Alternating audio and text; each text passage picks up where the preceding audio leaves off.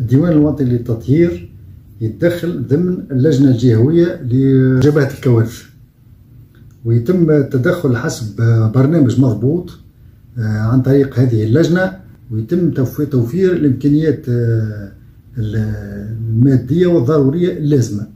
هذا ما يمنعش اللي فما آه، أشغال يقوم بها الديوان الوطني للتطهير قبل انعقاد هذه اللجنة في مو في بداية معناها شهر سبتمبر. والأشغال هذه اللي هي تتمثل في جهر الأودية وخاصة واد قريانة واد جي بي سات في الطريق الوطنية رقم سبعة وتنظيف الأحواض لتجميع المياه وهي خمسة أحواض.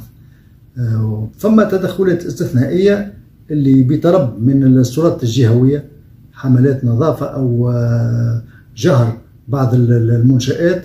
نقوم بها بالتنسيق مع السلطات الجهوية من ولاية وبلديات بالنسبة لجهر الشبكة شبكة الصرف الصحي.